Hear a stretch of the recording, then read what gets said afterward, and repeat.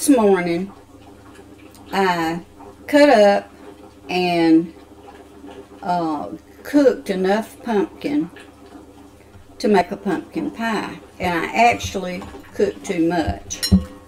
So I have um, two cups here, which is what my recipe calls for. It calls for two cups of pumpkin pulp, and I ended up cooking four cups.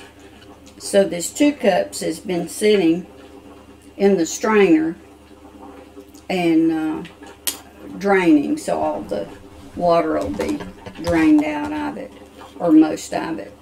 So I'm going to put that into a freezer box. This is what I use to put vegetables or most anything that'll fit in them in the freezer. So I'm going to put this two cups of pumpkin pulp into the freezer box.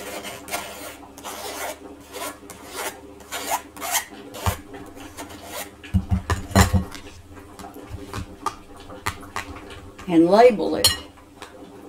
Put it in the freezer. And the next time I want to make a pumpkin pie, all I have to do is take it out of the freezer and let it thaw.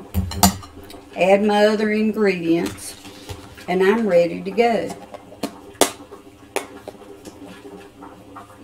So all I have to do now is just label it and it'll be ready to go into the freezer.